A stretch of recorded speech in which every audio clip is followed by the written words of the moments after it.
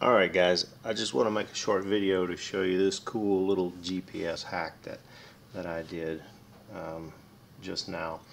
When my daughter first started driving, the insurance paid or took off a lot of money if we put one of these things on her um, on her car, which is a GPS cell phone thing that, that sort of tracks her and helps her learn how to or helped her learn how to be a good driver anyway, I uh, had this thing sitting around for a long time and I finally busted it open and I found this thing right here which looked to me like a GPS module and I was able to read right there and find out that it is an Antenova uh, M2M part number 10382 okay, which has a u-blox. It's, so it's a GPS module um, with the antenna. That's the antenna right there, and it has a u-blox uh, 6, you know, uh,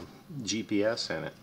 So I got to hacking around. I found the um, the wiring diagram uh, uh from Antenova and it gave a specification of how to put it onto a board so I just assumed that this board followed that specification and I was able to look around and figure out that all I really needed were five pins. So these four pins you see here with wire and this is a fifth pin right here okay?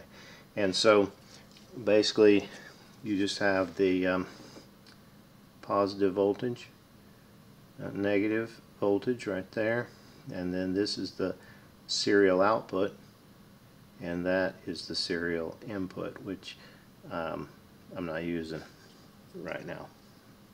Actually, I have those backwards. That is the serial output. That's the serial input, the green one, which I'm not using right now. So I just, uh, this is uh, some mouse wire, you know, from a USB mouse. And uh, I had to jumper it over. This is a jumper from the positive to this one because this is the enable for the, there's a voltage regu regulator on the bottom because this module runs on 3.3 volts according to the specs.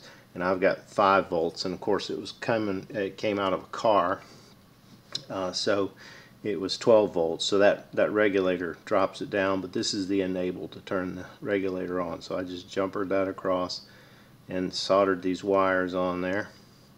And then I went down put it on a, a, DuPont connector on here.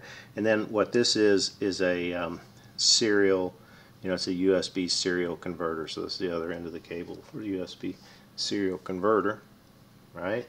And um, so got it all going or got these soldered up plugged it in got the enable running. First time I did it I didn't have the enable on it wouldn't come on.